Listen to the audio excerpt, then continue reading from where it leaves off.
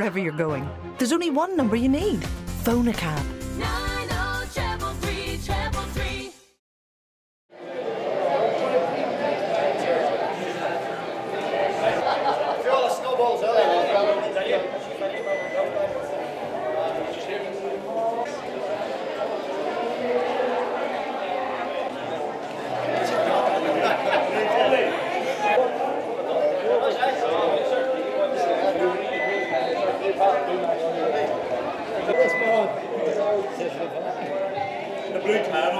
Slightly present this trophy to Matty on behalf of Glentoran TV for over 4 million hits on YouTube. Matty son, well done, outstanding. Thank you very much. And thank you to Glentoran TV as well.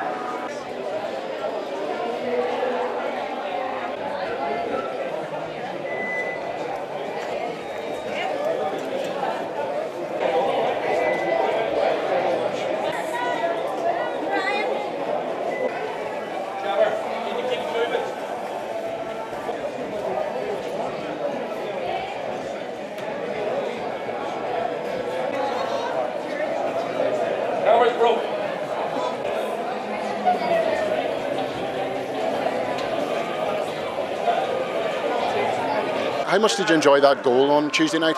It's tremendous, tremendous feeling to score at Windsor in a final, especially against Linfield. And what do you remember of the goal?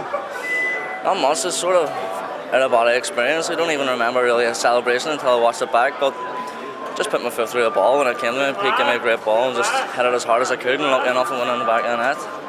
Brilliant. Well, it looked like you enjoyed it as much as we did. Uh, thanks again for talking to us, Grant. No problem, Mark. Cheers.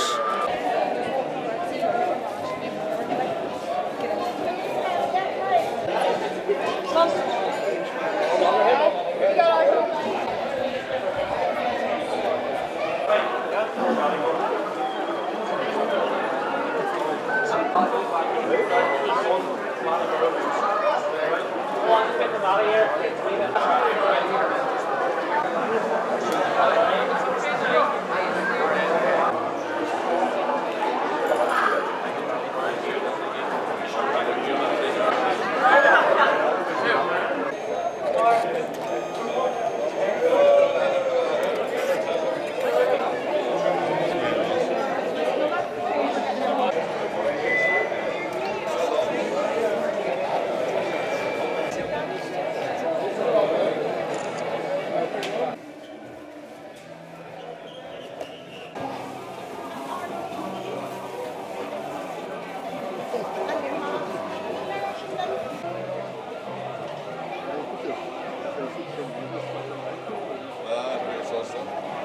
great result on Tuesday night. You, you must have been delighted with the overall uh, team performance. Um, yeah, it was.